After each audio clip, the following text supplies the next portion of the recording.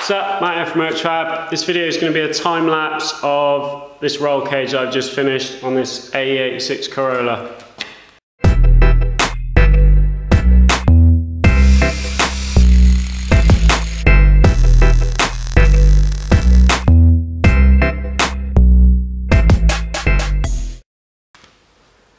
Alright, so I wanted to do a time lapse video of me doing a roll cage build just so that I would know how many times I actually have to get in and out because I've always thought that it's probably way more times than I realised.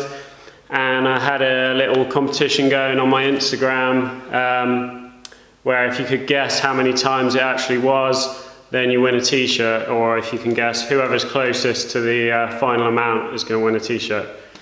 So this is just a basic six-point MSA cage, uh, so let's roll the video.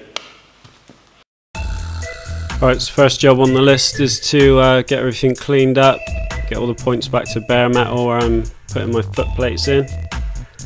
I actually had to cut some of this central bracing out the way just to be able to get the main hoop to sit where I wanted it to sit.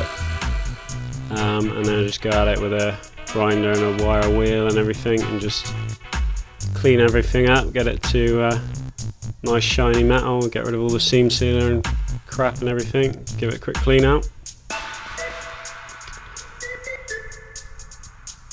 Now I'm just um, making the templates up for the um, foot boxes and the plates to go around the rear shock towers.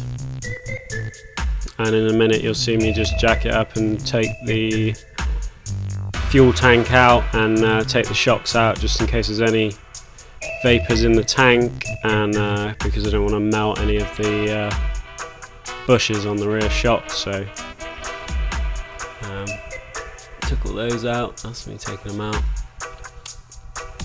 I've got all the boxes sort of cut out with a uh, plasma cutter and that's me just uh, using a blowtorch to get rid of any last little remaining bits of the seam sealer.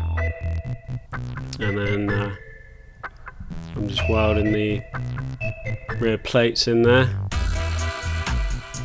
this rear bar which is uh, bracing the shock towers. So that was me basically measuring everything up for the uh, hoops and this is the main hoop coming together. So that was the first test fit. I'm just marking the legs to the length they need to be hacking them off and then going to tr trim them the second time just get it just right and then this is on to the front legs. Uh, getting those in. I literally had about just enough uh, material for this job and if I'd got any of these wrong it would have been a bit of a disaster. So once this bar at the top of the screen is uh, in I'll then weld that as much as I can from underneath and then drop the cage down off its feet that which you'll see me do in a minute and then weld the tops which is how you get to the uh, welds on the top of the cage. And now I'm just uh, starting on the welding the foot plates in. And the reason that's smoking so much is because uh, someone's filled the sills front to back with expanding foam which uh, made that absolute nightmare to do. Um, now I've just slid the cage back up onto its boxes. And I've just got it tacked in place. And I'm working on getting the door bars in. And I'm also uh, cutting the pieces for the rear stays and the rear diagonal in the back just to make sure I had enough material really. I would normally get the front completely done and then move on to the back but um, yeah I just because I was wasn't sure at that point whether I actually quite had enough tube to get the job done so um, that was why I did it that way around.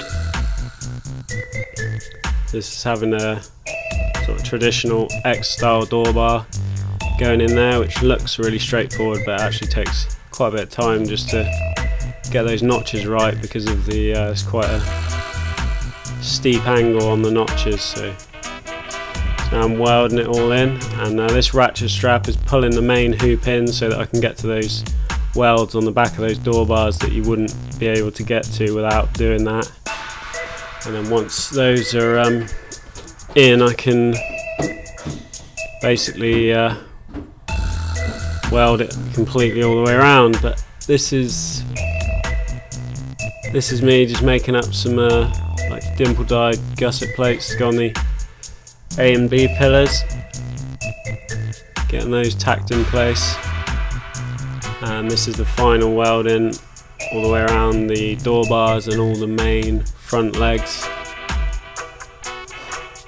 So they're just fully welding in the gusset plates on the A and B pillars and uh, now I'm getting the rear section of the cage all welded in, the back stays and the uh, two diagonals to make the X in the back and uh, getting that welded in. Um, I think that's the harness bar I'm just cutting there.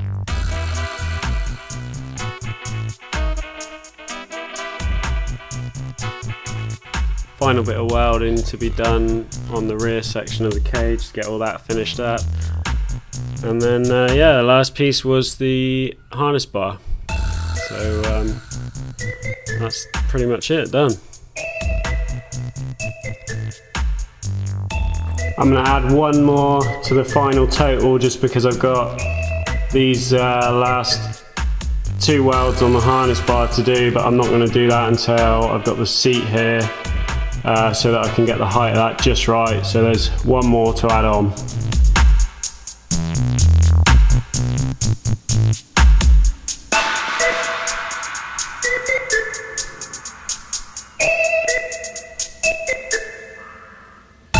you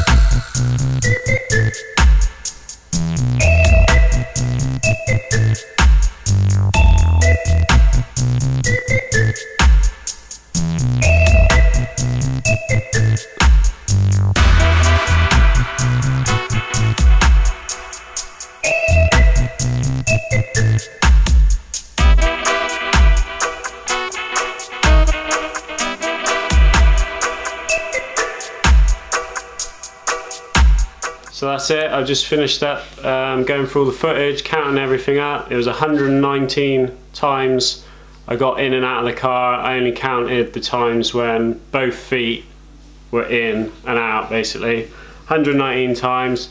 Um, it's double what my guess was. I guess 60 for a, like a basic cage and 100 for you know a more complicated cage. Um, so the closest guess was 120 from uh, Volks Worker on Instagram. So, so I'll send a message over and um, give me your address. I'll send you a T-shirt. Um, if you're interested in uh, what? No, I'll bring you some up. No, I can just make some. There's a bottle up here. All right, do that then.